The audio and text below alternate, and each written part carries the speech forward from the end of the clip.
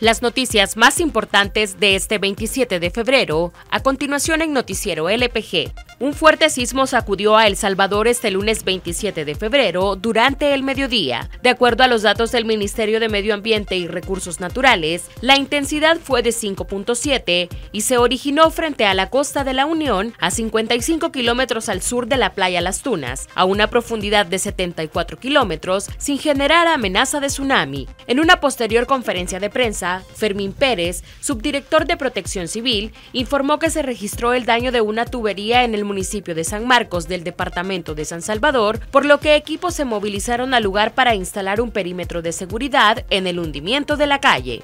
El municipio de Izalco, Sonsonate, tendrá un nuevo cementerio general con capilla, parqueo, sistema de riego en áreas verdes y muro perimetral.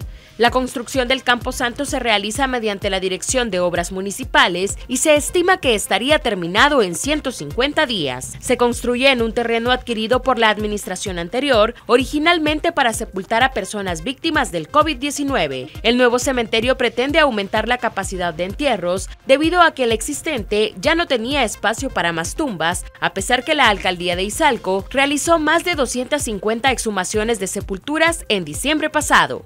Al menos 100 voluntarios socorristas midieron sus capacidades y destrezas físicas en la tradicional prueba de natación El Paso del Hombre este domingo 26 de febrero. La actividad fue organizada por la Cruz Roja Salvadoreña con el objetivo de preparar a los voluntarios para la próxima temporada de vacaciones. Los participantes nadaron 21 kilómetros entre la playa Las Flores y la playa El Majagual en el Departamento de la Libertad. El evento celebró su edición número 57 y se reanuda después de dos años que estuvo en pausa debido a las restricciones por la pandemia de COVID-19.